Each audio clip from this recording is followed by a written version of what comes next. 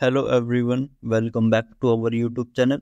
In this video, I will guide you a Snapchat copied to clipboard meaning and can you turn it off.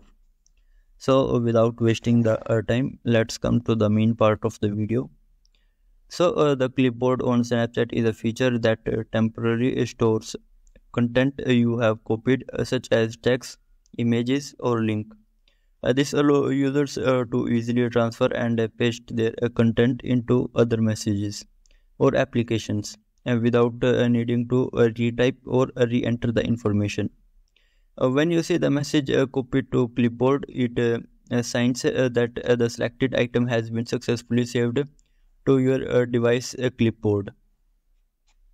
Uh, this feature is uh, particularly useful for sharing information uh, quickly across different parts of the app even between different apps or your device.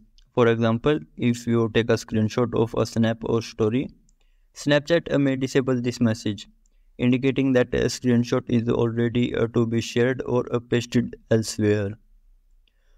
So, uh, currently uh, there is no straightforward way uh, to disable uh, the clipboard copy to clipboard notification in Snapchat it appears uh, to be a default setting within the app.